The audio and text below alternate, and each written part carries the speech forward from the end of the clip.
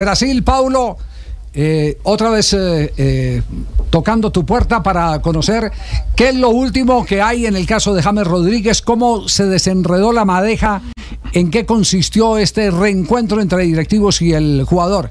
Buenas tardes, Paulo. Todo bien. lo que me parece que, que Rafinha, James también, la, la cabeza de James que se cambió y, la presencia de Rafinha, que es su amigo desde el Bayern, uh, han sido muy importantes para eso.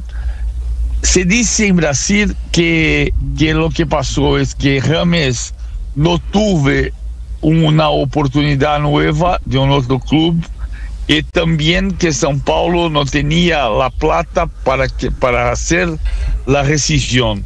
Pero no me parece así, aunque, también porque uh, James fue quien solicitó la, la rescisión. Entonces, lo que pasó fue que después del episodio de James, que no, se, no se andó en la Supercopa porque no iba a jugar y no tuvo un comportamiento de, de grupo, uh, y que pidió la rescisión entonces en São Paulo, una parte de la, de, de la, dirección, el presidente estaba, el presidente Julio Casares estaba muy ansioso para no que no no hacer que Rames continuase a trabajar. Si quiere salir, que se, se salga. Pero la, la, dirección de fútbol de São Paulo dijo: Espera, vamos, vamos ver qué va a pasar. El Botafogo sondou São Paulo para, porque queria contratar a Rames. E Rames, fora de Brasil, não tinha mais mercado de Europa, que está cerrado, nem de Estados Unidos e Arábia não houve propostas. Então, que passou a, a mirar que não jogava por quê? Porque São Paulo, quando chegou, tinha um equipo que se firmou na Copa do Brasil com Rato, Lucas e Nestor e todos os três se quedaram lesionados. Então jogaria se estivesse bem. Me parece que passou a mirar isto e também mirar que não havia outro mercado e foi falar com Rafinha. E Rafinha foi falar com a direção. A direção disse: se quer quedar, pode quedar. Pero se passou. E aí a direção falou com Jorge Mendes, que é seu, seu empresário, seu agente, e disse: y Jorge Mendes dijo a, a, la dirección de San Paulo, se precipitó Rames, se precipitó Rames. Entonces que se quedó con la, la sensación que podía cambiar. Rames seguía entrenando. ¿Por qué? Por claro, porque el São Paulo es el empleador. Si tiene un contrato, no puede quedar, quedar tirar Rames del entrenamiento. Porque tiene un contrato. E Rames passou a mirar que só não jogava porque não estava bem, não estava listo, porque dijo que não queria.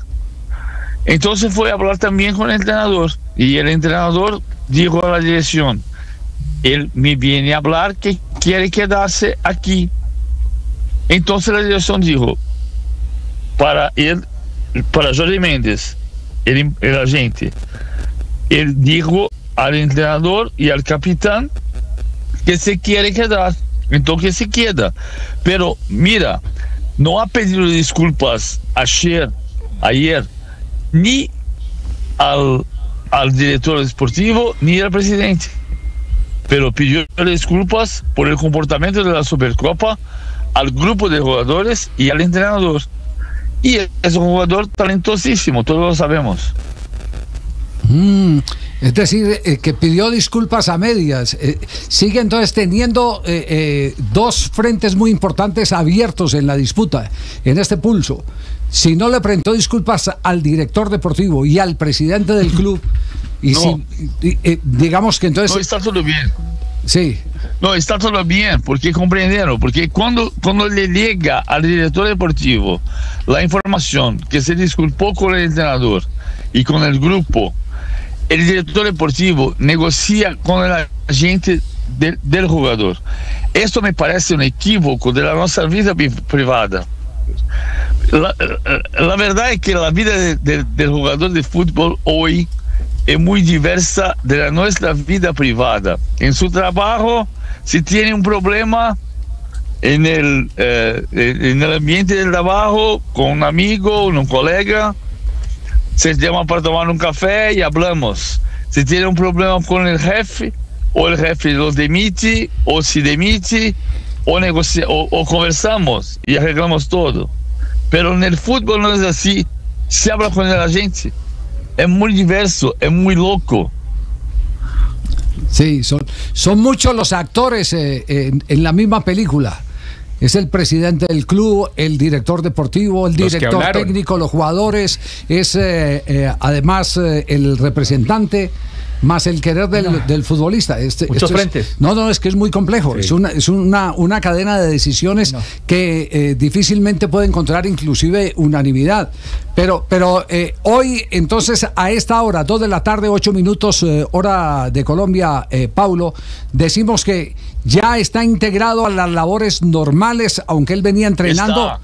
Pero está, está en este momento en actividad, eh, ya al- alistándose para el próximo reto, que creo que es el torneo paulista. Ya está, ya- no, no- está listo para esta etapa del torneo paulista porque no estaba inscrito.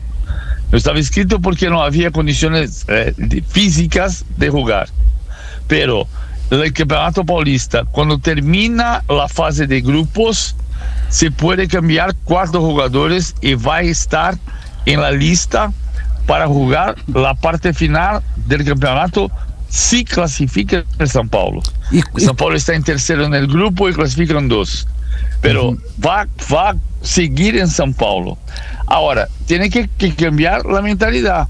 Ah, en este momento, yo, yo pienso que James es un jugador fantástico.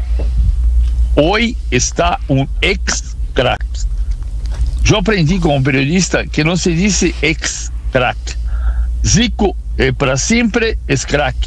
Valderrama para siempre es crack. Pero ex crack es el crack que renuncia a la condición de crack.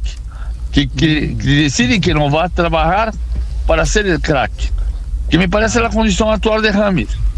Eh, No está a trabajar para ser el crack. Y me, me recuerda ah, lo que dice a Rafa Benítez en el Everton, que James le gusta mucho más la vida que la competencia. Y para un jugador de fútbol tiene que haber competencia. Si un otro está mejor que usted, va a jugar el- lo que está mejor. No importa que sea un crack fantástico, que es James, pero si no está crack en este momento, hay que tratar de ser, de trabajar para ser. Pero el São Paulo decidió que sí, James vuelve a jugar en las finales del Campeonato Estadual de São Paulo, Campeonato Paulista. Desde que se pu- lo puede inscribir eh, y hay problemas en la plantilla, Lucas está lesionado, Rato está lesionado, va a jugar James. Ahora, tiene que construir una nueva historia. Son 14 partidos, un gol, mucho poco para James. Puede jugar mucho más, es lo que esperaba. En São, el São Paulo contrató una estrella internacional y tuvo un jugador que menos que Wellington Rato. ¿Tú sabes en Colombia quién es, quién es Wellington Rato? No. En el mundo se sabe quién es James Rodríguez. Hoy en Brasil se sabe que Wellington Rato está a jugar mejor que James Rodríguez. Y no puede ser así. Sí, muy claro. Pablo, un abrazo eh, muy gentil por actualizarnos eh, sobre este tema, eh, que por supuesto nos mueve la aguja a todos, porque estamos pendientes también de la próxima cita, el próximo reto de la Selección Colombia, que tiene un partido muy importante, preparatorio en Europa, frente a España y otro frente a la Selección de Rumania. Un abrazo, nuestro cariño y aprecio de siempre, Paulo. Un honor, un honor para mí hablar con Colombia siempre. Hoy estoy en Brasil en la transmisión de Atlético Nacional contra Nacional en Paraguay. Ah. Ah, no, ahí está, está. Eh, Sigue el hoy fútbol le toca, claro, la sigue el fútbol colombiano y le toca trabajar a Paulo. Toca transmitir. Eh, eh, Castel, eh, eh, yo no había escuchado la verdad esa definición que acaba de dar Paulo.